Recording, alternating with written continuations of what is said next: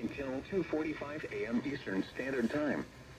At 2.14 a.m. Eastern Standard Time, severe thunderstorms were located For some reason it went off louder. extending from near Carmel to near Zionsville, moving east at 65 miles per hour.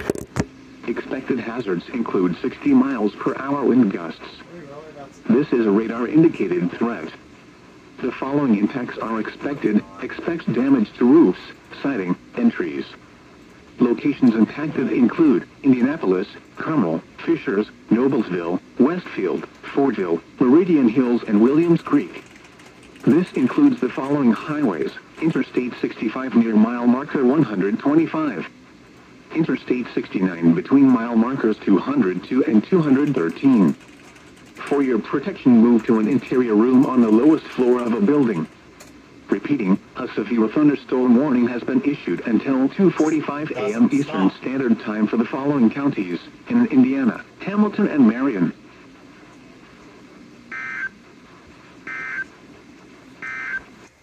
Well, it just never ends. That's